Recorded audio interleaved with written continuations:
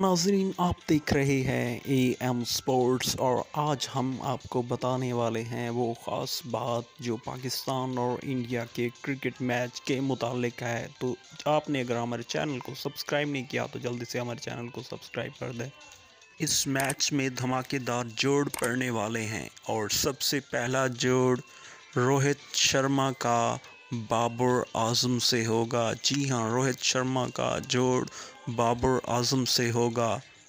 اس کے بعد دوسرا جو جوڑ ہے، وہ ہے ویرات کوہلی کا محمد رضوان کے ساتھ جوڑ پڑے گا اس میچ میں، جبکہ جسمیت سنگھ بمراہ جوڑ بنائیں گے محمد عامر سے۔